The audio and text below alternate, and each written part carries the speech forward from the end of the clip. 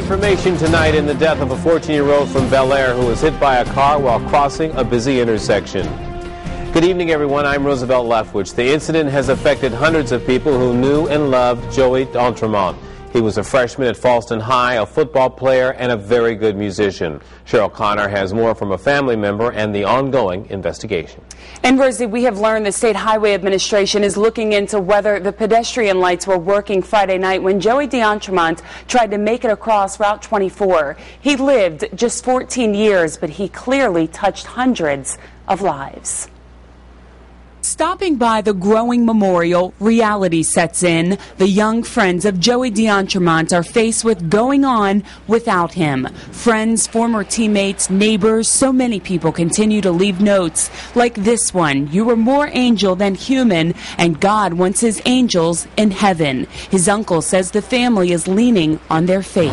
God is the giver and the taker of life, and he has a, he has something that he wanted to do with with this. And D'Entremont was trying to cross Route 24 at Red Pump Road Friday night. Investigators say he was crossing against the light. The 19-year-old driver hit him, and D'Entremont died at the hospital. The pedestrian lights are on now, but state police received a number of complaints that they weren't working on Friday. The State Highway Administration is investigating. As soon as I heard it, it like my my legs went like numb because it was just such a shock because such a great kid. Friends are wearing his favorite color blue. D'Entremont was number 30 on the Fallston High School football team and was a singer in a local band.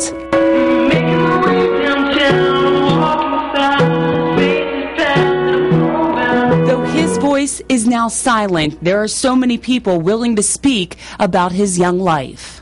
Joey was saved and he belongs there with God, with all the angels. Like like I said, he's not of this world. Like he's too good for for here. As for the driver, the family recognizes what he must feel. We know that it wasn't on purpose and we would accept him with open arms.